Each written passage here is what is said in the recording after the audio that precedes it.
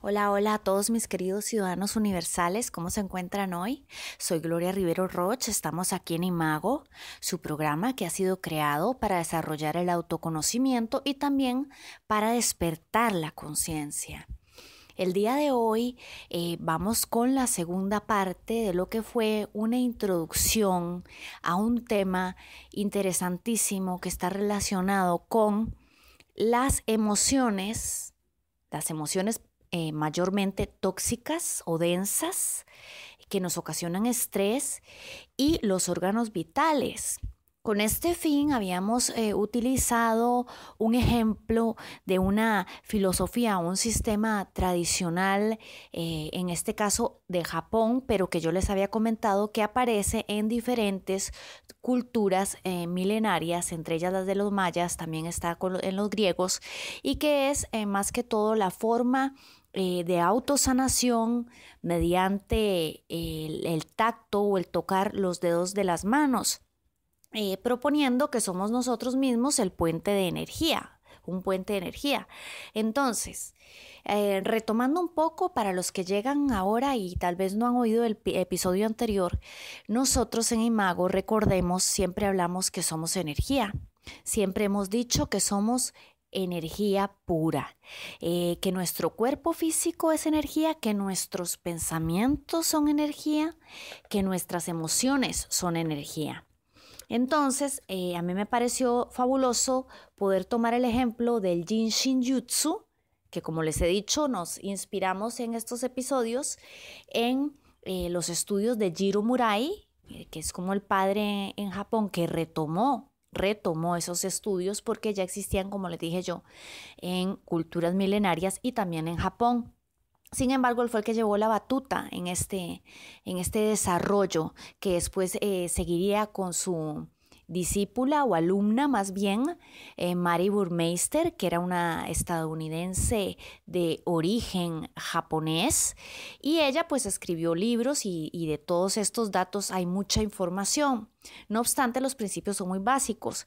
Aquí nosotros utilizamos este recurso para comprender, hacer una especie de analogía, una metáfora de lo que es la energía vital, los órganos y las emociones.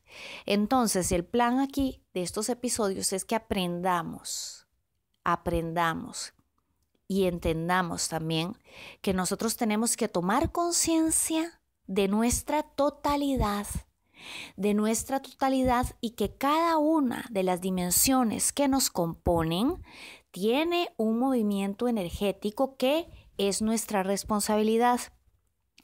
Por eso siempre les digo que eh, eh, Tal vez en Occidente hemos sido muy proclives a verlo todo separado, compartimentado, eh, nos sentimos como fragmentados, es decir, los pensamientos por un lado, las emociones por el otro, el trabajo por acá, las cosas personales por allá, ¿verdad? Siempre es todo dividir, dividir, fragmentar, separar.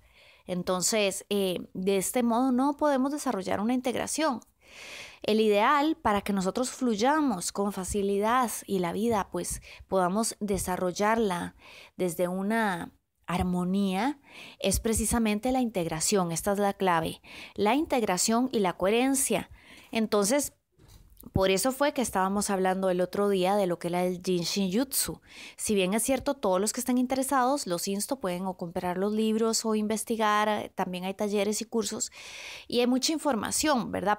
pero, pero este episodio y el anterior, más que todo, es para hacer un ejemplo y darnos cuenta de que existen sistemas tradicionales, sobre todo orientales, pero también de otros tipos, como les dije, en Grecia también, los mayas, donde la sanación y la sabiduría, los sistemas de sanación y sabiduría, están amparados o basados en lo que es la armonización y el fortalecimiento de una energía vital, que habíamos dicho que le decían prana en India, ¿verdad?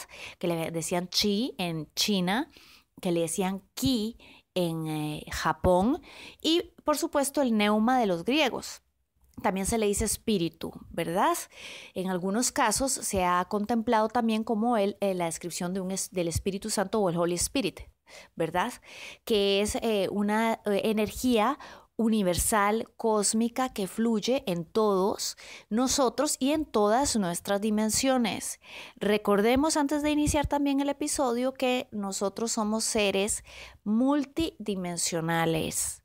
Cuando digo esto me refiero a que nosotros estamos operando en niveles que vemos con los sentidos y en niveles que no vemos con nuestros sentidos físicos. Para eso es importante saber, entender y asimilar que no solo somos el cuerpo físico y la mente. Somos cuerpo físico, cuerpo mental, cuerpo emocional, cuerpo energético y por supuesto la fuente que yo siempre les he dicho que es como el centro y el eje que es la conciencia, esa parte superior divina de nosotros que no es la mente ni los pensamientos. ¿Verdad? Siempre les hago esa aclaración. Yo estoy hablando de una conciencia superior, de carácter eh, eh, infinito, ¿verdad? Entonces, partiendo de ahí, la semana pasada habíamos hablado de eh, las profundidades entonces vamos a hacer un pequeñísimo resumen muy breve y vamos a entrar a hablar entonces a cerrar ya en este episodio con este tema eh, que, fue, que fue una solicitud, por cierto, de lo que eran los órganos vitales y las emociones.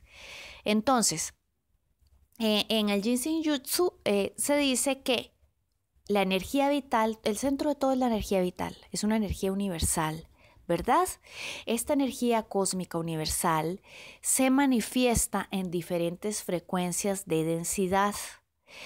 Esta, esta energía tiene que sufrir o pasar una serie de procesos donde se va transformando hasta llegar a la materia, al plano material. Entonces va desde la frecuencia más alta hasta una frecuencia más densa, que es ya donde estamos en el plano de la materia.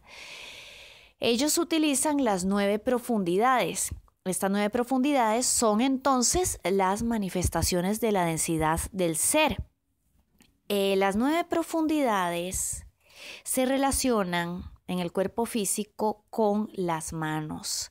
Estas nueve profundidades, siendo que desde la novena hasta la séptima son las transformaciones, los procesos de transformación de la energía cuando entra en el plano de la materia, entonces en las, seis eh, primeras eh, transformaciones, de la 1 a la 6, ahí podemos encontrar una referencia directa para equilibrarnos a través de los dedos de la mano y la palma de la mano. Entonces hay una correspondencia, ¿verdad?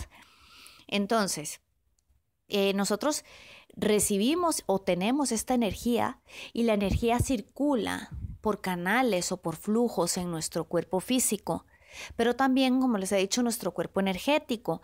Y la forma de circular o de fluir es por la parte anterior o frontal de nosotros, desde lo que es, sería la cabeza bajando, bajando, llegando a los pies y después sube por la parte posterior, de la parte de atrás, por los pies arriba, la columna vertebral y ahí sigue girando y girando en forma de óvalo.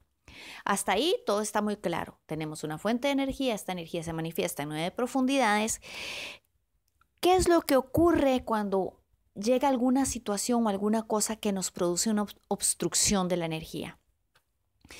Cuando la energía vital tiene obstrucciones, se producen las enfermedades o como denominarían en, en, Jutsu, etiquetas. No les dicen enfermedad, sino que les dicen las etiquetas.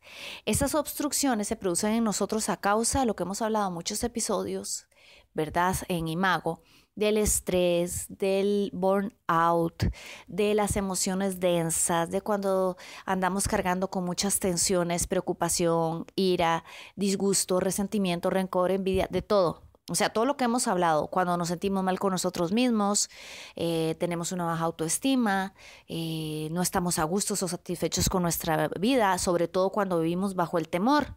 Aquí quiero apuntar con mayúsculas y que recordemos que habíamos dicho también en Imago que el ser humano por lo general eh, solo se mueve en dos, amparado en dos vértices. Uno de ellos es el amor y el otro es el temor, siendo que el temor es la carencia de este, esta constante o este estado que es el amor.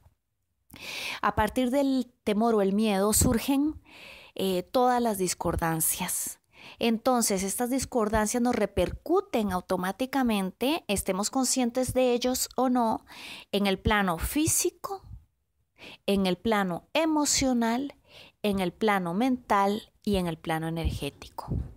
Entonces, aquí tenemos que expandir nuestro horizonte y contemplar el hecho, como les dije, que somos estos cuerpos, cuatro cuerpos que he dicho anteriormente, y que si hay una desarmonía en nosotros nos vamos a enfermar, pero que se afecta también todos los otros cuerpos, es decir, cuerpo energético, cuerpo mental, emocional. La semana pasada yo les había puesto el ejemplo que cuando pasamos mucho tiempo con tristeza, con preocupación, con ansiedad o incertidumbre, lo que nos ocurre es que nuestro cuerpo energético está desvitalizado, ¿verdad? No detenemos una emoción tóxica, la dejamos ahí, la vamos arrastrando y nuestro cuerpo energético se desvitaliza. Empezamos a tener bloqueos energéticos y por ende nuestra frecuencia vibratoria baja. Recuerden que nosotros siempre estamos emitiendo una frecuencia vibratoria porque somos un campo electromagnético. Entonces, nuestra frecuencia vibratoria está de la mano con nuestro estado de ánimo, que va y, naciendo de nuestros pensamientos, de nuestras emociones y sentimientos. Y esto se convierte en lo que en Jinshin Jutsu denominan actitudes. Ya habíamos mencionado la semana pasada lo que eran las actitudes. Son cinco las que ellos determinan, ¿verdad? Las actitudes son reacciones reacciones que tenemos los seres humanos que se convierten fijas o protagonizan nuestra vida. Es decir, si nosotros tenemos una reacción de miedo o preocupación en un momento determinado muy breve y se desaparece, eso es natural, en los mecanismos de respuesta del ser humano. Pero cuando uno de estos de estas actitudes que voy a decir se convierten en fijas, es decir, es parte de nuestra personalidad vivir estresados, es parte de nuestra personalidad estar preocupados, es parte de nuestra personalidad vivir con pesimismo, con tristeza o con desaliento, ya esto se vuelve una actitud, porque es una forma de vivir. Recuerden que en Imago yo siempre les hablo de los hábitos y les digo que para transformarnos tenemos que desarrollar un hábito que sustituya a una costumbre, otro hábito que tuvimos anteriormente que nos es nocivo o perjudicial. Entonces nosotros en este caso estamos viendo que las actitudes pueden ser dañinas para nosotros. Y si antes nunca hemos hecho esta relación, los invito para que hagan la relación y que se pregunten a nivel individual en su silencio personal, ¿cuál de estas actitudes hemos estado cargando los últimos meses, años o días con nosotros? Tengamos motivo aparente o no para ello. ¿Cuál de estas actitudes? ¿Cuál de estas que voy a decir? El miedo, la preocupación, la ira, la tristeza y la pretensión. ¿Verdad? Estas actitudes de las que estamos hablando tienen un origen en el temor. Tanto la pretensión, la ira, la tristeza, ¿verdad? La preocupación excesiva, el esfuerzo. Estas, estas, emociones son tóxicas y son densas y cuando las sostenemos mucho tiempo, que no tiene que ser 20 años, con solamente que pasemos ya eh, varios días sosteniendo una preocupación, se nos puede volver fija. Entonces, el equilibrio de, de las profundidades, de las nueve profundidades, nos libera estas actitudes. Cuando tenemos las nueve profundidades, que ya las vamos a ver ahorita, eh, equilibradas, entonces nos liberamos de las actitudes de, miedo, de tristeza, ¿verdad? De enfado, de preocupación. Entonces, ellos también postulan que la respiración es la base de la energía. Eso lo dijimos el otro día también porque eh, nosotros estamos acostumbrados y sabemos y, que hemos hablado de la meditación y que respirar y estar presentes, pero a veces lo escuchamos como un concepto nada más y no, no prestamos atención realmente a qué significa. Pero cada vez que nosotros exhalamos conscientemente, eso es decir, auto observando mi exhalación, yo estoy dejando ir la carga, estoy soltando los bloqueos. O sea que este es un recurso de autosanación también de equilibrar nuestras energías por medio de la respiración, De hecho, en Yin Shin Jutsu tienen unos ejercicios que son 36 respiraciones en grupos de cuatro, ¿verdad? Em, digo, en grupos de nueve, cuatro respiraciones lentas en las cuales nosotros exhalamos inhalamos, observando la respiración para que eso es como eh, establecer contacto con el organismo, prestarle atención y que nosotros empecemos a, soltar esos bloqueos. Porque eh, vivimos muy, muy rigidizados, como muy tensos por el sistema imperante. Entonces, eh, la respiración no es solamente para sobrevivir, la respiración es para sanar. Y también recordemos que dependiendo de la manera en que nosotros respiremos, así van a estar en la calidad nuestros órganos vitales. Así les va a llegar no solamente la energía, sino también así va a ser el funcionamiento de todos los sistemas digestivos, circulatorio, nervioso, sistema simpático, sistema parasimpático, aparato reproductor, sistema glandular, sistema óseo, sistema muscular, todos los sentidos, ¿verdad? Estructura neurológica. Todo es con la respiración porque eh, cuando nosotros nos tranquilizamos es porque estamos dando unas señales a nuestro sistema neurológico, ¿verdad? Con lo cual quiere decir que también toda nuestra estructura mental de pensamiento se ve afectada con la respiración. Entonces, esta es otra clave para que nosotros eh, eh, practiquemos este sistema de autosanación, que como les dije la semana pasada, no se trata de que tengamos una enfermedad o un padecimiento grave o en, una manera que estamos recibiendo algún tratamiento y descartemos los tratamientos alopáticos. No se trata de eso porque esto no es un curso de medicina. Esto es una muestra de que nosotros tenemos muchas potencialidades y que ya es hora de que nos conozcamos. Recuerden que Imago es el camino al autoconocimiento, ¿verdad? Tomar conciencia de nosotros mismos, saber de qué estamos compuestos, cómo podemos ayudarnos y facilitarnos las opciones desde el interior, desde lo que somos, desde nuestro potencial. No siempre estar esperando afuera, afuera, ¿verdad? Entonces, volviendo al tema que nos tiene aquí hoy, vamos a recordar o vamos a hablar de las profundidades. La semana pasada habíamos hablado de un par de ellas.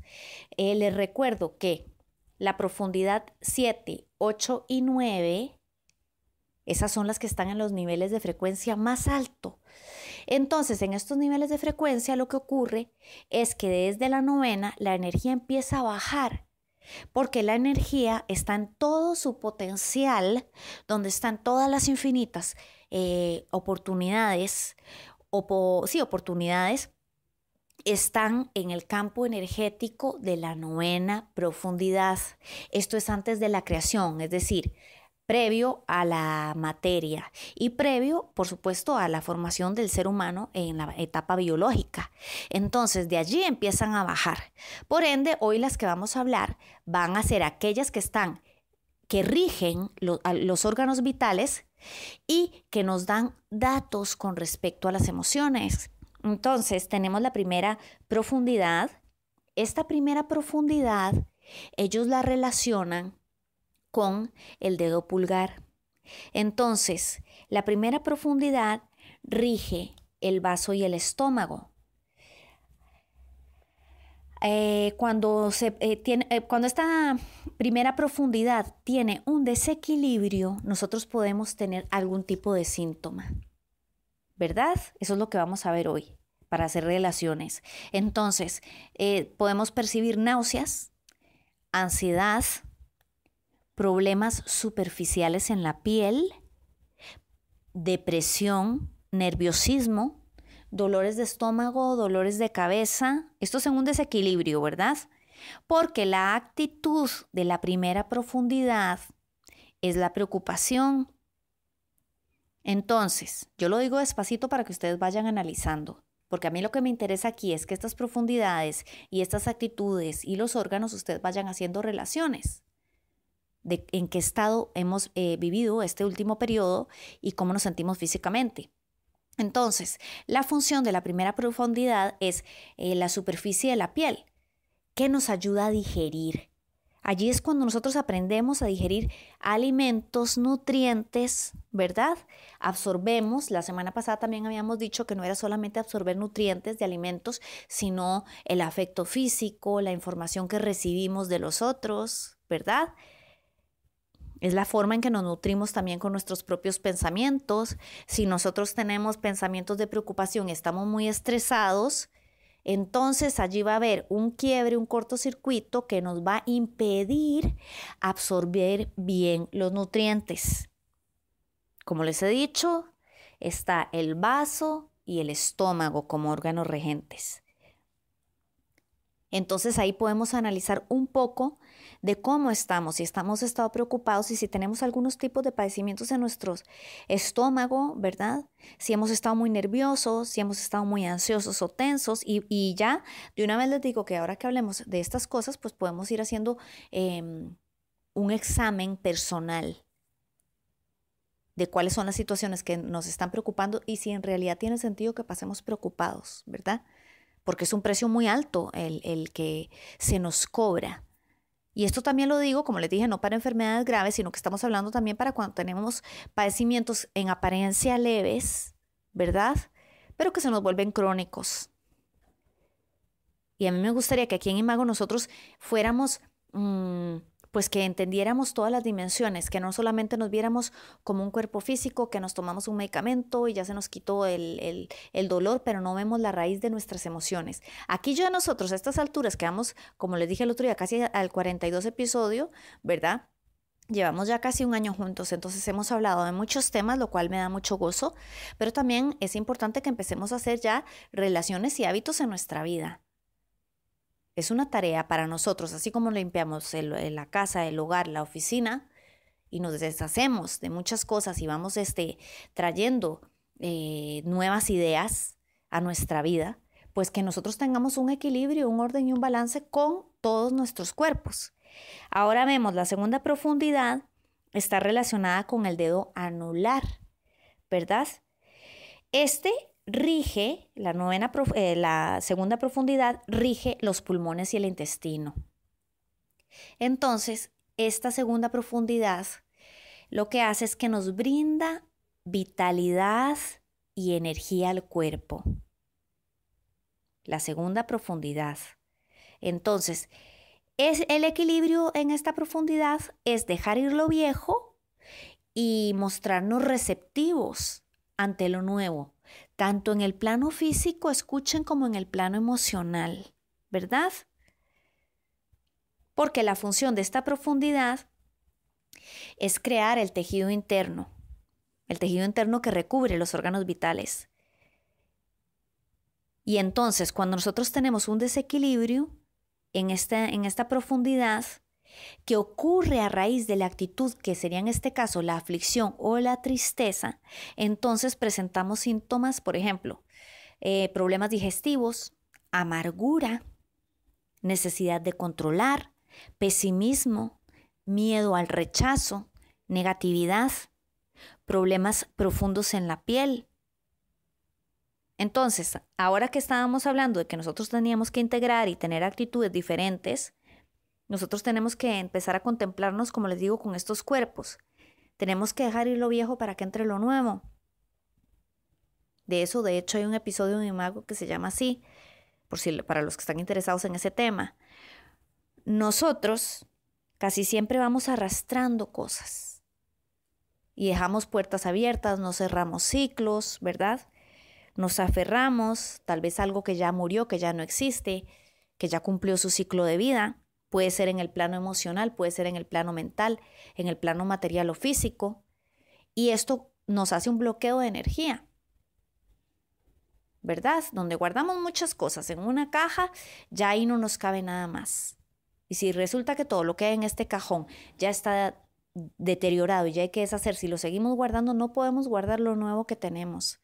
Es decir, la segunda profundidad es como que tengamos una apertura, una salud para el movimiento sano de la vida del ciclo de la transformación, en el cual dejamos ir y recibimos, ¿verdad?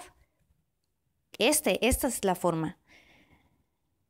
Y así entonces, cuando soltamos y dejamos ir, podemos identificar que tenemos un equilibrio y ya no hay, digamos, problemas en la, zona eh, de los pulmones o en el intestino grueso, padecimientos en esa área, por tristeza, por aflicción, que es la actitud de esta parte. Ahora, ya pasando a la tercera profundidad, vamos eh, con el tema de qué es el armonizador del cuerpo. Es decir, en la tercera profundidad mantenemos todos los elementos del cuerpo en las correctas proporciones, pero también es el armonizador de nuestras emociones, todas las emociones. Esta tercera profundidad es muy delicada porque em, la actitud que genera discordancias es la ira, el enfado, la cólera, ¿verdad? Y em, rige los órganos del riñón y la vesícula biliar. El dedo que se utiliza es el dedo medio o, del corazón, se le llama, ¿verdad? Que es el que está a la par del índice. Entonces, he dicho que es una profundidad muy delicada porque a veces se interpreta que como la actitud que, que, intoxica o que desarmoniza es la ira o el enfado, las personas tienden a decir, ah, no, pero si yo estoy de buen humor, yo he pasado de buen humor, yo no tengo ira y no tengo enfado. Y es que a veces también nosotros tenemos un, estereotipo de lo que es el enfado, de lo que es la ira, no sabemos muy bien cómo funciona este concepto. Y les voy a hacer una breve explicación. La ira no simplemente significa estar encolerizado, ¿verdad? La ira puede ser una serie de frustraciones.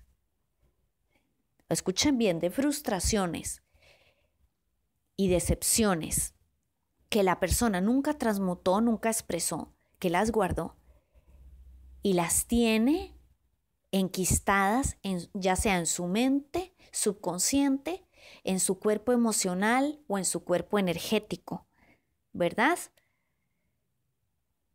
Porque a veces se cree que la ira solamente cuando yo estoy aquí ahorita ya me enojé, me enojé y estoy, estoy muy cabreado. No es eso. Solamente. El enfado tiene muchos, muchos rostros, ¿verdad? Entonces el enfado puede ser una serie de resentimientos, una serie de estado de amargura. Cuando la persona es una persona amargada, también es una forma. O cuando la persona se altera con mucha este, frecuencia, es difícil verle una sonrisa. ¿Verdad? Van viendo todas las formas. Cuando tiene mucha, mucha eh, resentimiento, rencor, frustraciones, como les dije anteriormente, la frustración es un, veneno, ¿verdad? Muy, que lentamente va matando a la persona. Porque se olvida de ver su potencial y que puede alcanzar de aquello que quiere. Simplemente se, se fija y presta su atención en aquello que cree que no tiene, en aquello que cree que no ha alcanzado. Y se olvida de vivir, como dice la canción. Entonces les hago esta explicación de la ira para que entendamos por qué es que afecta el hígado y la vesícula biliar, ¿verdad? Porque entonces, eh, cuando estamos equilibrados y tenemos en armonía esta tercera profundidad, vemos la vida de una forma compasiva. Compasiva no significa tener lástima, sino significa tener mayor empatía y comprender a los demás. Por supuesto, comprendiéndonos en primera instancia a nosotros mismos, ¿verdad? Porque ser compasivo no quiere decir que uno no tenga sus criterios o sus ideas, pero uno ve desde una forma más sana al entorno. Y su función es esencia de la sangre. Y recuerden que la sangre es como nuestra vida, ¿verdad? Nosotros de hecho nos alimentamos para producir buena sangre, una sangre sana. Y ya habíamos hablado de la primera profundidad donde decíamos lo de, la, eh, de lo de los alimentos, ¿recuerdan? Que la primera profundidad era para eh, nutrirnos y que nos nutrimos también de los pensamientos.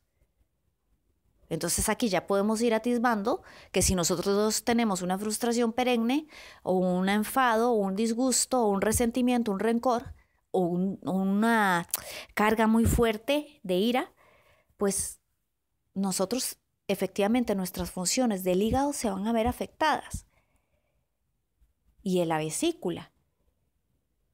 Y tenemos que entender, no es que tenemos que ser doctores, pero tenemos que entender que nuestros órganos vitales todos están relacionados.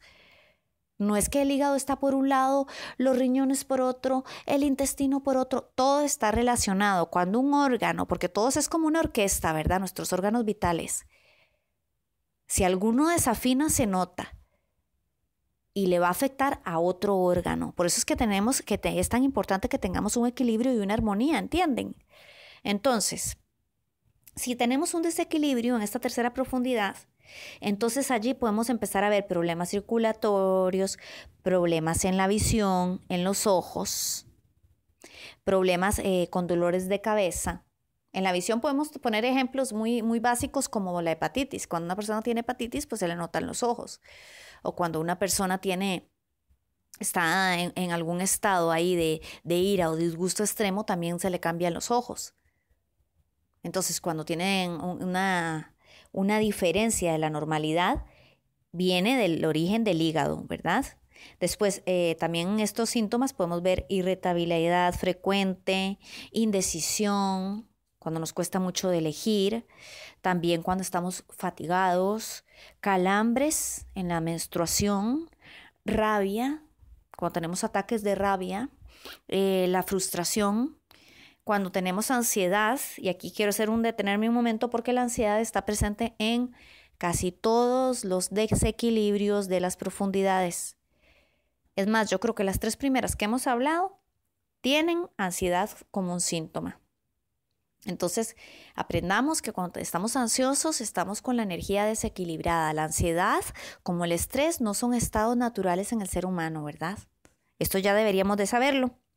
Después también podemos percibir resentimientos, miedo a que los otros no, a las otras personas no nos hagan felices o que no hagan lo que nosotros queremos. Entonces aquí nos damos cuenta que tenemos el enfoque o la atención puesta hacia el exterior, es decir, no estamos partiendo de nuestro centro. ¿Qué puedo hacer yo para sentirme bien? Sino que pueden hacer los otros, ¿verdad? Entonces siempre vamos a estar a disgusto insatisfechos, porque como les he dicho siempre, el gozo primordial viene de nosotros mismos, el estado estable viene de nosotros mismos, el trabajo es primero con nosotros, luego con los demás. Entonces ahí para balancear el equilibrio y la armonía viene desde nosotros adentro. Ahora pasamos a la cuarta profundidad y en esta cuarta profundidad hablamos de un significado en el cual se facilita el flujo o la fluidez del movimiento en, nuestro, en nuestros cuerpos, que nos ayuda a superar el estancamiento físico, emocional o mental. Cualquiera de estos tres estancamientos. Porque em, la actitud desequilibrante es el miedo. Y nosotros ya sabemos que el miedo paraliza. Cualquier tipo de miedo porque eh, puede ser un miedo no muy, muy grande, pero sí una inseguridad disfrazada, ¿verdad? Un miedo disfrazado de inseguridad. Entonces ya mejor no voy a hacer esto, mejor no voy a decir tal cosa porque qué van a pensar de mí, mejor no voy a pedir eh, tal dato porque tal vez no me lo vayan a dar, ¿verdad? Mejor no tomo esta decisión en mi vida porque aunque estoy sufriendo, la verdad es que yo no sé qué va a pasar conmigo en el futuro, entonces prefiero quedarme así como estoy sufriendo, sin moverme y sin hacer ningún cambio porque no sé, porque tengo temor, ¿verdad? Entonces nos inmovilizamos. ¿Y qué ocurre cuando estamos inmovilizados? No hay vida. No hay oportunidades, no hay posibilidades infinitas, como decíamos en la novena profundidad, que es donde está toda la energía en potencia, ¿verdad? Donde están todas las posibilidades infinitas, todo lo que puede ser. No puedo tocar ese nivel porque estoy inmóvil. Y para tocar ese nivel tengo que moverme a una frecuencia alta. Tengo que fluir con la vida. Entonces, eh, no nos es favorable para nada ningún tipo de estancamiento, ni emocional, ni mental, ni físico, ni energético. Cuando tenemos una situación de miedo, también puede ser miedo a la pérdida, tenemos que, a la pérdida de un ser querido, para poner ejemplos, a la pérdida de un trabajo, a la pérdida de la pareja, a la pérdida de un amigo, a la pérdida de la salud. Vean todo lo que les estoy diciendo. Ese es un tipo de miedo muy común, ¿verdad? Estos temores que generan incertidumbre y, e inmovilizan a las personas, lo que hay que hacer es enfrentarlos Es decir, observar, como les digo siempre, con muchísima humildad, ese temor que nos está quejando y, analizar de verdad de dónde viene ese temor. ¿Por qué no tengo confianza? Y realmente detrás de eso, ¿qué es lo que yo creo que yo voy a perder? ¿Verdad? Porque yo siempre lo que digo es que, aparte, todas las cosas que se pueden perder, materiales, emocionales, mentales, etcétera, lo que uno nunca va a perder es el ser de uno mismo. Entonces, en teoría, la casa gana, para decirlo de una forma agradable, no podemos perdernos a nosotros mismos. Siempre que estemos conscientes, ¿verdad? Y eso es lo que estamos haciendo aquí. Entonces, una forma de entrar allí es observar realmente a qué le tememos y de qué tamaño es ese temor. Porque a veces cuando nosotros entramos a ver ese temor de pérdida, de dejar ir, empezamos a ver que es un conjunto, cuando nos vamos acercando es como verlo con una, con una lupa o un microscopio gigante y vemos un monstruo de temor, pero cuando nos vamos acercando vemos que está conformado por una serie de pedazos o de monstruitos más pequeños, para que nos lo imaginemos, que en realidad son débiles, pero como se han unido todos, entonces se ha hecho como una especie de gigante de papel que si nosotros lo viésemos de forma muy objetiva y clara, lo que podríamos hacer es soplar y se desaparece, se desvanece ese monstruo. Pero muy pocas veces transitamos de manera que lleguemos a ese habitáculo donde están nuestros temores, sino que los ignoramos, los reprimimos, los sublimamos. Y por eso vienen las discordancias, los bloqueos, las inmovilizaciones y los padecimientos. Yo ya sé que eso no es una tarea fácil, porque eso también pues me lo han comentado y es cierto, la parte del trabajo interior requiere un amor muy grande por uno mismo y por supuesto una voluntad. Y hay que ver, hay que ir más adentro para poder soltarnos, porque son cargas muy pesadas que no nos dejan vivir el presente, ¿verdad? Y como les he dicho, nosotros estamos aquí para trascender, no para sobrevivir. Entonces es importante, ahora que estamos aquí hablando de la cuarta profundidad, donde la actitud es el miedo, que entonces entremos, observemos, desmantelemos ese temor y aceptemos nuestras emociones. Todo esto de las profundidades y de las actitudes se trata precisamente de reconocer, eh, aceptar y trabajar con nuestras emociones como una totalidad junto con el cuerpo físico. Por ejemplo, en esta cuarta profundidad nos da el desequilibrio síntomas de dolor de espalda, dolores musculares, rigidez, ¿verdad? Dolores digestivos, problemas de los oídos, problemas en el aparato reproductor, irregularidades, problemas en la firmeza de los pies, frustraciones, confusión mental, dolores en las muñecas, de las manos, problemas en los dientes o en las encías. Vean qué montón de factores estoy diciendo, ¿verdad? Eh, inmovilidad en la parte superior del brazo. Cuando tenemos que decimos es que es la articulación o este brazo, este músculo me duele y no nos hemos golpeado, a veces también tienen esos orígenes. Por supuesto, hay que relacionar cada caso, pero aquí estamos hablando de los síntomas eh, psicosomáticos más comunes, y también eh, vemos las adicciones de cualquier tipo. Al decir, ah, bueno, los órganos que rige esta profundidad son los riñones y la vejiga, porque su función es crear el sistema muscular, ¿verdad? Pero también, ya habíamos dicho, que significa el flujo, la fluidez, el movimiento, entonces también transporte y movimiento de flujos dentro del cuerpo, ¿verdad? Y para que esos flujos se muevan de una forma sana y equilibrada, tenemos que estar relajados, confiados y seguros.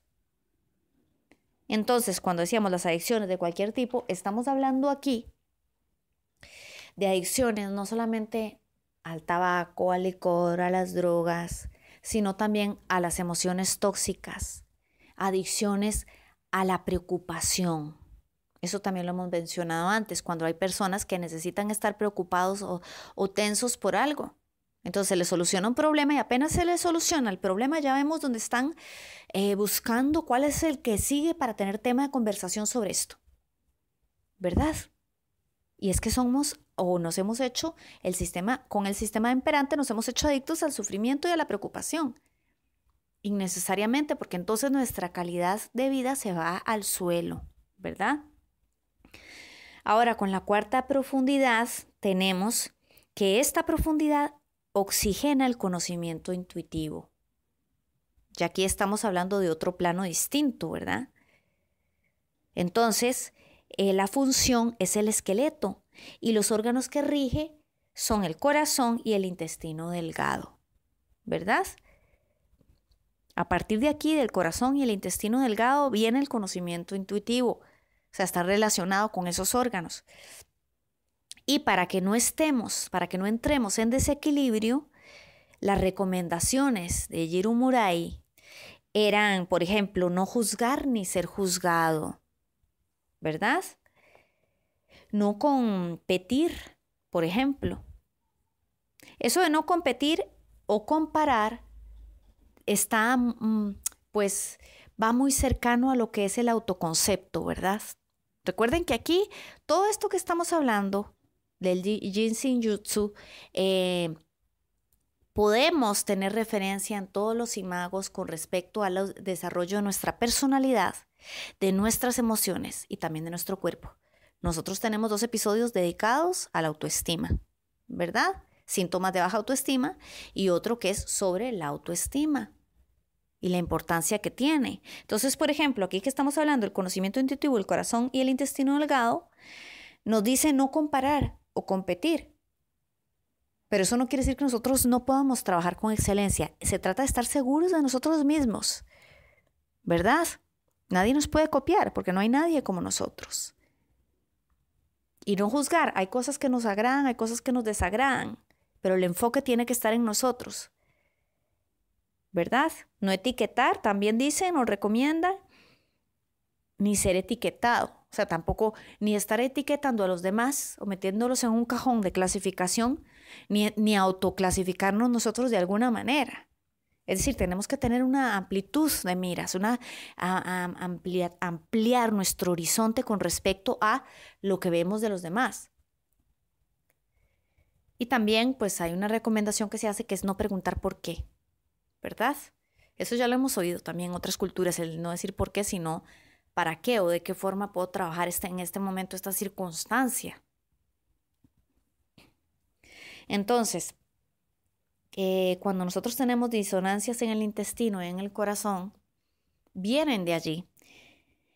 Y algunos de los síntomas son sentimientos de superioridad, temor de ser uno mismo, inseguridad, nerviosismo, dolor de garganta, presión arterial, exageración y muchos juicios.